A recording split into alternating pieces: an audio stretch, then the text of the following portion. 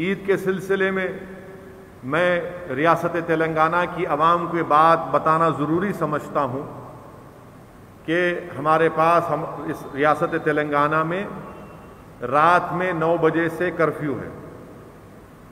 और मेरी कल तेलंगाना हुकूमत के वज़ीर दाखिला जनाब महमूद अली साहब से बातचीत हुई फ़ोन पर और उन्होंने मुझे ये बताया है कि ईद की नमाज़ हुकूमत ईदगाह में अदा करने की इजाज़त इसलिए नहीं दे सकती क्योंकि कोर्ट्स का फैसला है, कोर्ट की हिदायतें हैं कि एक अवामी इज्तम पर पाबंदी है।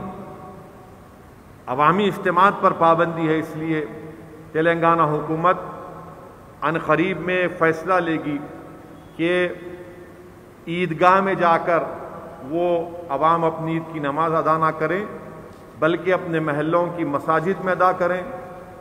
मैं तो आपसे गुजारिश ये भी करूँगा कि उलमाओं से हमारे मुफ्ती साहब, अनवार निज़ामी साहब यहाँ पर तशरीफ़ फरमा है।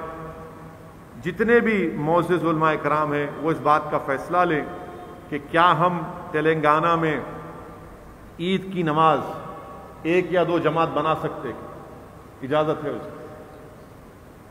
अगर उसकी इजाज़त है कि एक मस्जिद में ईद की नमाज़ की दो या तीन जमातें हो सकें, ताकि एक फजर के बाद जो वक्त शुरू होता है ईद फितर का तो आप उसी अपने महल्ले की मस्जिद में दो तीन जमात बना लीजिए। सोशल डिस्टेंसिंग को बरकरार रखकर आप अपने अपने महल्ले जात में अपनी ईद की नमाज़ को अदा करिए। और ये हुकूमत मेरी नज़र में ये फ़ैसला सही है, क्योंकि अगर लाखों की तादाद में अगर हम ईद की नमाज़ अदा करने के लिए ईदगाह पर जमा होंगे तो यकीनन कोविड फैलने का पूरा का पूरा इसमें कोविड फैल सकता है। खतरा नहीं है, बल्कि यकीनन फैलेगा। तो इसीलिए मेरी आपसे गुजारिश है कि हुकूमत की तरफ़ से जब फैसले का ऐलान होगा तो कराम से मेरी गुजारिश है कि वो इस बात का फैसला करें कि क्या मसाजिद में महलों की ईद की नमाज़ दो या तीन जमातें अगर हो सकती हैं तो उलमा उसका फ़ैसला लें।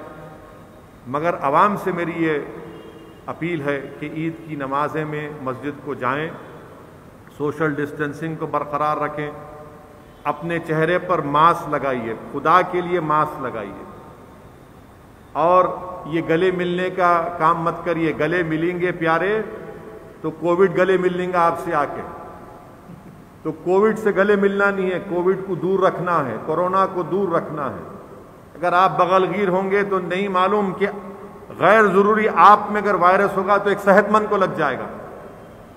एक सेहतमंद को लग जाएगा। इसीलिए दूर से, जबान से मास्क पहनकर ईद की मुबारकबाद दीजिए। और कोई ज़रूरी नहीं है कि घर को जाके मिलना। नहीं, अम्मा को मिलना है।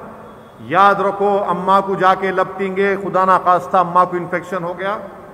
तो ज़यीफ लोग इस वायरस की शिद्दत को बर्दाश्त नहीं कर पा रहे हैं। और ज़्यादातर ज़यीफ हमारे माँ बाप में, हमारे बुज़ुर्गों में, उम्र के लिहाज से कुछ ना कुछ बीमारी होती है। डायबिटिक होता है हार्ट की बीमारी होती है किडनी का होता है। दूर से अम्मा को अगर हो सके तो फ़ोन करके सेल फ़ोन है, स्मार्टफ़ोन है, वीडियो कॉल करो अम्मा को, वालिद को, अगर साथ रहते तो भी ज़रूरी नहीं है कि जाके अम्मा को लगते मेरे भाई, ये एहतियात करने का वक्त है, बहुत एहतियात करने का वक्त है, सोशल डिस्टेंसिंग को रखिए और मास्क लगाइए, ईद को ज़रूर मनाएँ, मगर क्या हम इसको रिवायती तौर पर जैसा ईद मनाते, वैसा मना या खामोशी से मना लें? तो मेरे अज़ीज़ दोस्तों और बुज़ुर्गों, हमको ईद मनाना ज़रूरी है, इनाम का दिन है वो। मजदूर को मजदूरी मिलने का दिन है, मगर उसी उस शान और शौकत से अगर आप मनाएँगे तो एहतियात करिए। क्योंकि याद रखिए कि हर चौथे पाँचवें घर में कोई बीमार है। हर चौथे पाँचवें घर में किसी का इंतकाल हो चुका है। आपके पड़ोस में किसी की मौत हो चुकी है। यकीनन ईद मनाइए, मगर इन तमाम चीज़ों का ख्याल रखिए क्योंकि हम अपने शहर में, अपनी आबादी में रहते हैं और हमको कसरत से अल्लाह से दुआ करते रहना है कि अल्लाह सुबहाना ताला हमको इस वबा से छुटकारा दिला दे और हमको एहतियाती तदाबीर को भी अख्तियार करना है। अगर आप कोई एहतियाती तदाबीर इस्तेमाल नहीं करें, अल्लाह दे, अल्लाह रो कर देंगे। मेरे भाई, अल्लाह के रसूल सल्लल्लाहु अलैहि वसल्लम की हदीस शरीफ है। कि रहमतमीन सल्लल्लाहु अलैहि वसल्लम के पास एक शख्स आया जो अपने ऊँट को छोड़ के आ गया। अल्लाह के रसूल सल्लल्लाहु अलैहि वसल्लम ने फरमाया कि तुमने अपने ऊँट को बांधा क्यों नहीं? तो उस शख्स ने कहा रसूल अल्लाह सल्लल्लाहु अलैहि वसल्लम, अल्लाह है ना। अल्लाह के रसूल ने फरमाया कि ऊँट को बांधो और फिर अल्लाह पे तवक्कल करो। तो हमको पूरी एहतियाती तदाबीर को इख्तियार करना है। और दुआ करना है, कसरत से दुआ करना है और अल्लाह सुबहाना तला के फैसलों पर तवक्ल करना है।